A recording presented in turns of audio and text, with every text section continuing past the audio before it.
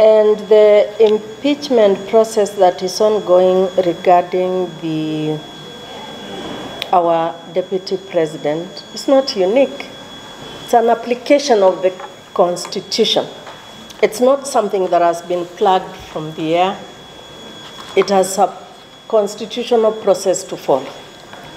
And therefore, to that extent, it is a constitutional process. If it comes back to the courts, it's been in the courts, you know, the number of 20 whatever applications and cases. If it comes to court after Senate, whatever it is that happens, we don't know. We cannot anticipate the outcome of the um, Senate process. If it comes here, it's a case like the next case.